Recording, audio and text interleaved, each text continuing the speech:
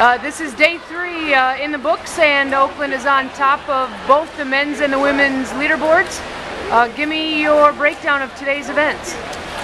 Well, uh, we, we've, we've had a great session, uh, two great sessions, one this morning to get to this point, and for both men and women. I'm really proud of how the teams performed today. I know fatigue's starting to set in a little bit, but it's doing that for all the teams, but they're really rising to the occasion.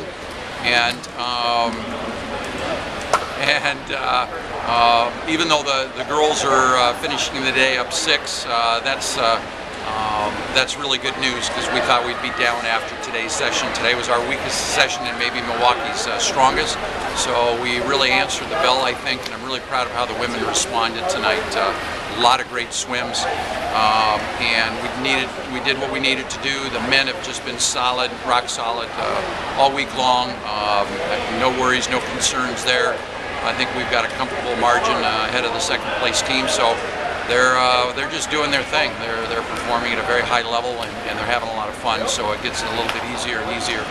Um, so uh, tomorrow. Uh, uh, we're looking for uh, the last two sessions, and uh, tomorrow morning is going to be the biggest and best session, I, I, I hope.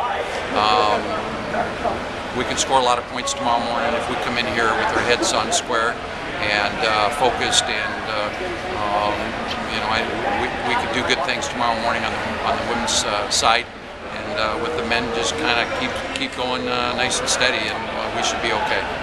Uh, was it more women's depth, or was it women's first places? Because you had a little bit of both today.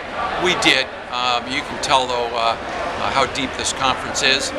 Milwaukee's got some real talented young ladies, as do a couple of the other schools.